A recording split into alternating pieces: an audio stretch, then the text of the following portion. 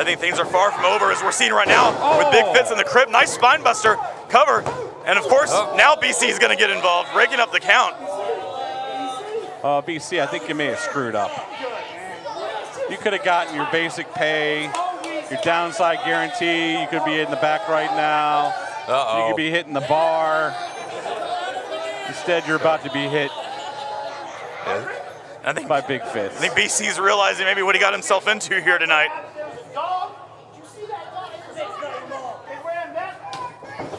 Well, if anyone can talk themselves out of a beating, It was at this moment BC knew he screwed up.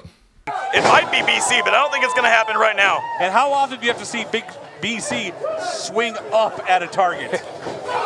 Not often. This probably not the week you want to mess with Big Fitz. Definitely not in a good mood after what happened last week at the hands of Hardakis.